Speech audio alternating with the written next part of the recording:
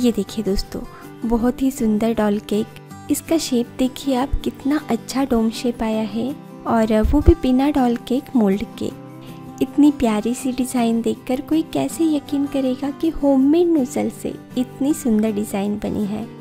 Layers तो बिल्कुल perfect है। तो बहुत ही इजीली बिना एक्स्ट्रा का सामान खरीदे बहुत ही अच्छा डॉल केक बना है। स्पंज और सॉफ्टनेस तो हमेशा की तरह बढ़िया ही है।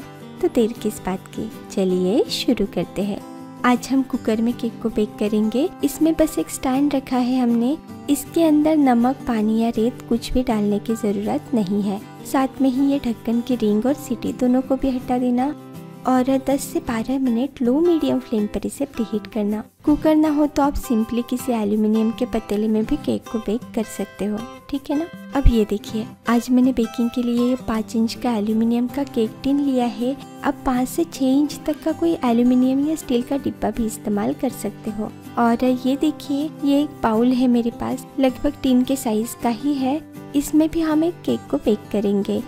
इससे डॉल का जो डोम शेप होता है, वो देने में हेल्प होगी। तो ये दोनों ही बर्तन हमें यूज़ करने हैं। बस यूज़ करने से पहले दोनों को भी तेल या बटर से अंदर से अच्छे से ग्रीस कर लेना और दोनों में ही बटर पेपर या पाँचमेंट पेपर रख देना। अब बैटर के लिए एक बाउल में डालेंगे आधा कप पिसी हुई चीनी और आधा कप से थोड़ा सा कम दूध। दूध और चीनी दोनों को अच्छे से मिला देना और फिर ये 40 ग्राम पिघला हुआ बटर भी इसमें डालना। साथ में ही ये थोड़ा सा वनीला इसेंस भी डाला है मैंने। दोस्तों, आप चाहो तो दूध के बदले दही से भी केक का स्पंज बना सकते हो। वो भी मेरे चैनल पर है, आप देख सकते हो। या फिर प्रीमिक्स का भी केक अच्छा बनता है, आप वो भी रेफर कर सकते हो। चलिए, अब समय है इसमें कुछ ड्राई इंग्रेडिएंट्स डालने का। पहले पौना कप मैदा डाल देना।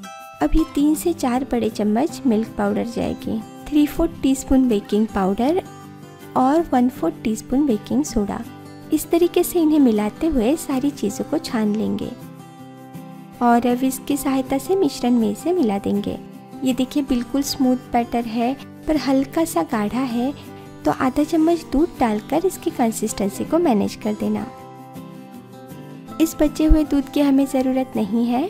अब ये है एप्पल साइडर विनेगर इसमें से एक से डेढ़ चम्मच विनेगर मिश्रण में डाल देना। वैसे आप व्हाइट विनेगर भी यहाँ पर यूज़ कर सकते हो, चलेगा। विनेगर डालने के बाद बैटर को ज़्यादा ना फेंकना, बस अच्छे से मिला देना इसे। और एक मिनट के अंदर अंदर ही ये बैटर हल्का हो जाएगा तो तुरंत इसे बाउल में डाल देना। आप देख सकते हो कितनी अच्छी रिबन कंसिस्टेंसी है बैटर की, बहुत अच्छा केक बनेगा। इसे दो चार बार अच्छे से टैप करना और फिर प्रीहीटेड कुकर के अंदर रख देना। ढक्कन लगाकर फिर हम इसे 30 से 35 मिनट अच्छे से बेक होने देंगे। करीबन 35 मिनट के बाद इसे खोलकर मैंने इसे चेक किया तो टूथपिक क्लीन है मतलब केक बहुत अच्छे से बेक हुआ है। थोड़ा सा ठंडा होने के बाद नाइफ से इसे साइड से लूज़ कर देंगे और फिर इस तरीके से इसे पलट देंगे। आप देख सकते हो, स्टील के बर्तन में भी कितना अच्छा केक बना है। तो अब आपको केक बनाने के लिए एल्यूमिनियम टीन खरीदने की ज़रूरत नहीं है। किसी भी स्टील के डिब्बे में बाउल में भी आप केक बना सकते हो। ये कलर देखना केक का। एकदम अवन में जैसे बेक होता है, वैसे ही लग रहा है। स्पंज भी बहुत अच्छा सॉफ्ट बना है। इसी तरीके से सेम मेज़रमेंट से बैटर बनाकर दूसरा केक मैंने पाँच इंच के टीन में बेक किया है। अब हम क्या करेंगे? दोनों ही केक का टॉप का पोर्शन हटा देंगे, जिससे लेयरिंग करना आसान हो जाएगा। और साथ में ही शुगर सिरप को भी ये अच्छे से एब्जॉर्ब कर पाएगा। ये वाला पार्ट भी लगेगा हमें बाद में तो इसे ऐसे ही रख देना। जनरली मैं एक दिन केक को बेक करती हूँ और दूसरे दिन इसका असेंबलिंग का काम करती हूँ। अब आपके पास टाइम है तो पूरा केक एक ही दिन में बना सकते हो। तो ये देखिए, पाँच इंच के केक की मैंने दो लेयर्स बनाई हैं अब पाउल वाले केक को भी इसी तरीके से दो लेयर्स में काटेंगे। इस तरीके से ये चार लेयर्स बन गई है। केक को डेकोरेट करने के लिए ये मैंने करीबन डेढ़ कप से थोड़ी सी ज़्यादा विपिंग क्रीम को स्टिफ पिक्स आने तक बीट किया है। गर्मी बहुत है तो क्रीम को आइस टब में रख कर ही बीट करना। और विप क्रीम की पूरी जानकारी वाला वीडियो देखने के लिए आप डिस्क्रिप्शन बॉक्स चेक कर सकते हो। अब एक केक बोर्ड पर या किसी घर की प्लेट पर थोड़ी सी क्रीम लगाकर पाँच इंच का बेस इस पर रख देना। ये देखिए, इस तरीके से अरेंज करेंगे हम केक को। और ये जो टॉप का पोर्शन हमने निकाल कर रखा था, इसमें से भी थोड़ा सा पार्ट इस तरीके से काट कर लेना।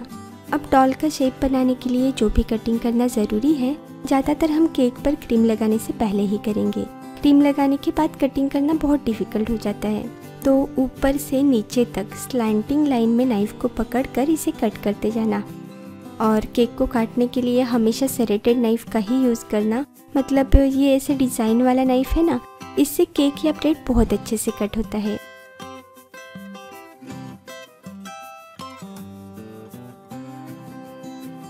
ये नीचे गिरे हुए टुकड़े वेस्ट नहीं होंगे, ये तो ऐसे भी खाने में बहुत टेस्टी लगते हैं। तो दोस्तों, ये देखिए, इस तरीके से मैंने इसे कट कर लिया है। ज़रूरत पड़ी तो कुछ कटिंग बाद में करेंगे हम। अब बेस को छोड़कर बाकी का ऊपर का केक उठाकर साइड में रख देंगे। थोड़ी सी चीनी को पानी में घोलकर शुगर सिरप भी हमने बनाया है। अब पहला काम है शुगर सिरप से केक को अच्छे से मॉइस्ट करना। और उसके बाद व्हिप क्रीम की लेयर इस पर लगा देना। ऑफसेट स्पैचुला की हेल्प से इसे प्लेन करेंगे। और फिर मेरे पास ये वेरी वेरी क्रश है।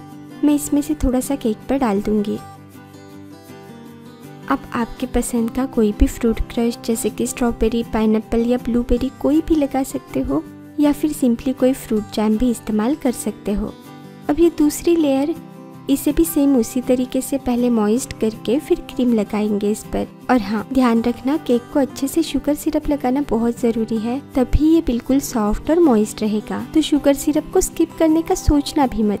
अब सेम प्रोसेस फॉलो करके ये भी लेयर लगाएँगे। और इस वक्त आपको लगे तो आप कटिंग का बचा हुआ काम कर सकते हो। हाँ पर क्रीम है तो इसे थोड़ा धीरे धीरे करना। ये लास्ट लेयर मतलब बाउल के नीचे का पार्ट है। तो इस पर शुगर सिरप लगाने से पहले इसे टूथपिक से थोड़े से होल्स ज़रूर करना, ताकि ये सिरप को अच्छे से एब्जॉर्ब कर पाए। और इस छोटे से टुकड़े को भी मैंने यूज़ किया है। इस पर अभी क्रीम मत लगाना। केक पर लगाने के लिए मार्केट में अलग अलग साइज़ के डॉल मिलते हैं। इसमें से आपके केक के साइज़ के हिसाब से डॉल को चूज़ करना। डॉल का जो पोर्शन केक के अंदर जाने वाला है, इसे मैंने बहुत अच्छी तरह से क्लीन कर लिया है। इसे केक के सेंटर में लगाएँगे। ज़रूरत पड़ी तो टूथपिक से थोड़ा सा होल कर देना बीच में, ताकि डॉल को लगाना इजी हो जाए। अब इस पूरे केक पर अच्छे से विप क्रीम लगाएँगे। पहले एक क्रम्बल कोट करेंगे।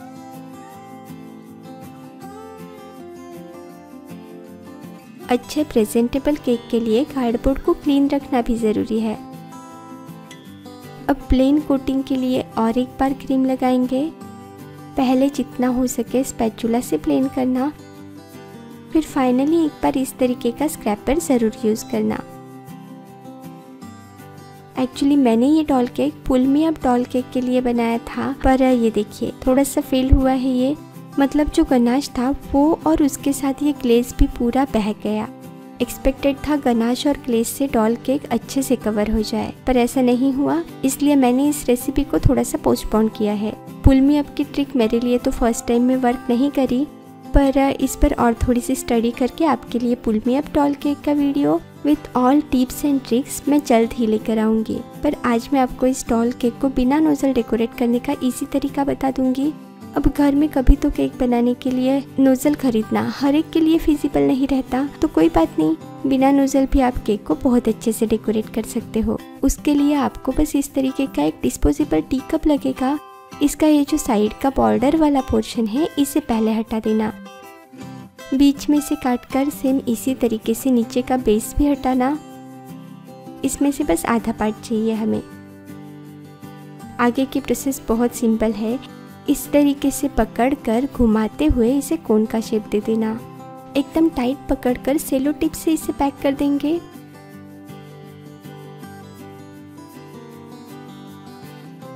ये ऊपर का एक्स्ट्रा का पोर्शन हटा देना। ये देखिए पैक तो हो गया है, पर दिखने में सुंदर लगे, इसलिए सेलो टिप से मैंने इसे पूरी तरीके से कवर कर लिया है। अब ये टिप का जो पोर्शन है, इस तरीके से थोड़ा सा कट करना। एंड फाइनली इसका हमें ऐसे पतला सा ट्रायंगल कट करना है। इसके साइड में चिपक कर दूसरा ट्रायंगल तीसरा ट्रायंगल ऐसे ही करते हुए जिक्जैक की डिज़ाइन बनाएँगे। और ये देखिए, कितना इजीली ये अपना स्टार नोजल बन गया है। अब मुझे डॉल को पर्पल करना था, पर ये कलर नहीं है मेरे पास तो मैं क्रीम में थोड़ा सा पिंक कलर और फिर बिल्कुल थोड़ा सा ब्लू कलर डालकर मिलाऊँगी। मैंने ब्लू कलर बहुत कम डाला है, अब आपके हिसाब से कलर करना। थोड़ा सा डार्क कलर किया है मैंने और फिर हमने होममेड नोजल के साथ पाइपिंग पैक में इसे भर दिया है। और अब ये देखिए होममेड नोजल से भी कितने सुंदर रोजेट बने हैं। जैसे जैसे ऊपर ऊपर जाऊँ क्रीम का कलर मैंने लाइट कर दिया है। और होममेड नोजल से बहुत ही अच्छा केक बना है। इसके अलावा और भी कुछ डिज़ाइन इस नोज़ल से आप कर सकते हो। बेसिक नोज़ल की डिटेल जानकारी के लिए डिस्क्रिप्शन में दी गई वीडियो की लिंक ज़रूर चेक करना। अब आप चाहो तो डॉल केक के ऊपर के पार्ट में भी क्रीम से ड्रेस बना सकते हो। मैंने बस यहाँ पर क्रीम की एक बॉर्डर बनाकर इस पर ये पर्पल कलर के शुगर बॉल्स लगाए हैं। ये देखिए। ये है वो। तो दोस्तों, आप भी इस तरीके से डॉल केक ज़रूर बनाना और आपके अनुभव कमेंट्स में शेयर ज़रूर करना। आपके केक के फोटोग्राफ्स आप मुझे मेरे जीमेल आईडी पर शेयर कर सकते हो। मैं इन्हें मेरे इंस्टाग्राम या फेसबुक पेज पर भी शेयर कर दूँगी। और हाँ आपके अनुभव कमेंट्स में ज़रूर शेयर करना। वीडियो अच्छा लगा तो लाइक ज़रूर करना, अपने दोस्तों के साथ इसे शेयर भी करना। अगर आप मेरे चैनल पर नए हो तो नीचे का लाल रंग का सब्सक्राइब बटन ज़रूर दबाना, साथ में ही बेल आइकन को भी क्लिक करना। जिससे आपको मेरे नए वीडियो के बारे में सबसे पहले पता चले। वीडियो देखने के लिए बहुत बहुत शुक्रिया।